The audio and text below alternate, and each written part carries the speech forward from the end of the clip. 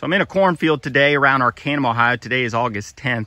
I'm evaluating how our nitrogen practices or our plant's ability to get nitrogen from the soil is impacting overall plant health and the plant's ability to photosynthesize clear through that, that grain fill or that reproductive process. So as I look down the row, as you can see, this corn is good and green, lush in color, looks to be very healthy. You don't see much nitrogen deficiency at the lower portion of the plant. Even from a disease standpoint, uh, yes, there is some some gray leaf spot lesions, those rectangular lesions, but overall, most of the disease has concentrated to that ear leaf and below. Not for me overly concerning, but I want to show you how the lack of nitrogen or where we get into nit more nitrogen deficient areas or fields can impact that plant's ability to hold off leaf diseases, particularly northern corn leaf blight.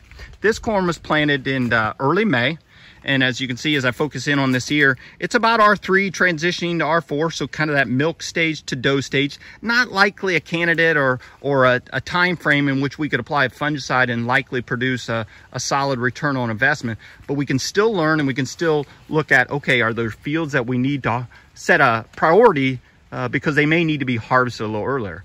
So I'm within the same row, but I'm working to a slightly wetter area. And as I get down, you can see there's a little more nitrogen firing on those lower leaves as I look down the road this direction. You can see more nitrogen deficiency as I look down the row.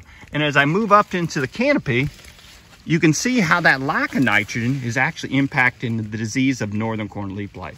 So this big lesion right here at my thumb, that is one northern corn leaf blight lesion. And as you can see, relative to gray leaf spot right here at my thumb, that northern corn leaf blight lesion poses a significant threat for that plant to continue to photosynthesize at a high level. When nitrogen becomes limiting, so some of those droughthier fields, some of those sandier fields, uh, fields that lack moisture because most of our nitrogen gets in the plant with moisture, when nitrogen becomes limiting, northern corn leaf blight will be a lot more invasive. As I work my way down the row, it's unfortunately not hard to find the northern corn leaf blight lesions, as you can see. I work up here. You can see there's lesions clear up into the, about the, oh, couple leaves above the ear leaf, not at the top of the plant yet. But what I really want to illustrate is now's the time to look at uh, those fields in particular that you know you struggled to get the nitrogen you applied actually mobilize into the plant, or maybe they were wetter fields that you feel like you lost a fair amount of nitrogen. Because while this field is, is not likely a good candidate to apply a fungicide this late, it can teach us uh, and help us to prioritize those fields that we may need to think about harvesting a little earlier. Because northern corn leaf blight, while it occupies, one lesion can occupy a much higher percentage of the leaf versus uh, gray leaf spot, it also can, can multiply much, much, much quicker than gray leaf spot.